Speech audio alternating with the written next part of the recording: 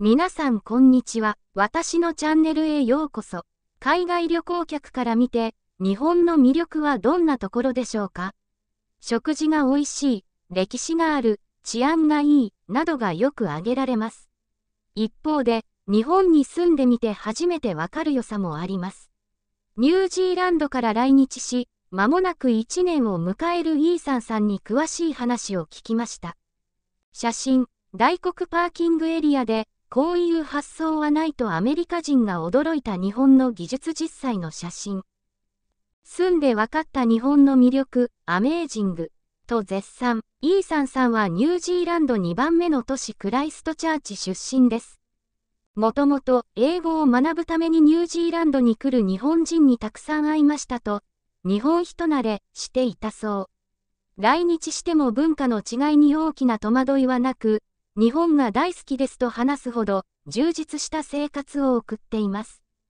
不便なことは何もありません。日本について悪いことは一つもないです。良いことしかありません。食べ物はとても美味しいですし、お寿司も食べられます。イーサンさんの趣味は自動車です。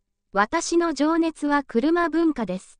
5月下旬には、栃木、モビリティリゾートモテギで行われた厩舎イベントを見学し、駐車場に並ぶ130台の貴重な車に目を輝かせていました。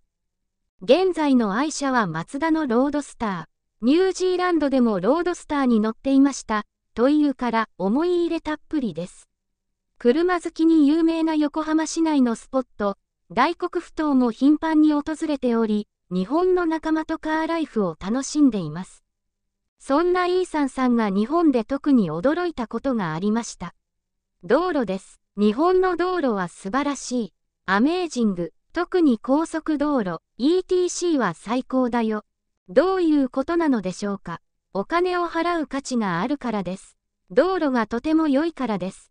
効率的で、目的地にとても早く着くことができます。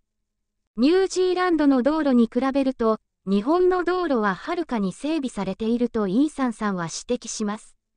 ニュージーランドでは運転に時間がかかります。なぜなら道路が広くないし、まっすぐでもない。峠のように、たくさんの曲がりくねった道路が多いですね。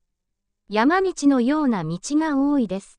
海外では高速道路が原則無料だが、お金を払ってもハッピー。外国の高速道路はアメリカ、カナダ、ドイツ、イギリス、ハワイなど基本的に無料のところが多いです。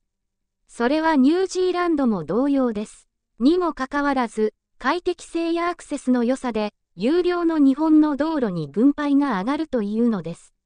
お金を払ってもハッピー。なぜなら、素晴らしいからと繰り返しました。ニュージーランドは公共交通機関がそこまで発達しておらず、みんなが車を運転という事情も影響しているそう。道路は2車線で混んでいると言います。日本の高速道路も区間や日時によっては混雑しますが、海外でも都市部を中心に渋滞のひどいところがあります。また、ETC は自動車を止めることなくスムーズに料金の支払いができるのもメリットですね。もしニュージーランドに日本のような道路があれば、私は喜んでお金を払うでしょうと結びました。どう思いますか？気に入っていただけると嬉しいです。また次回お会いしましょう。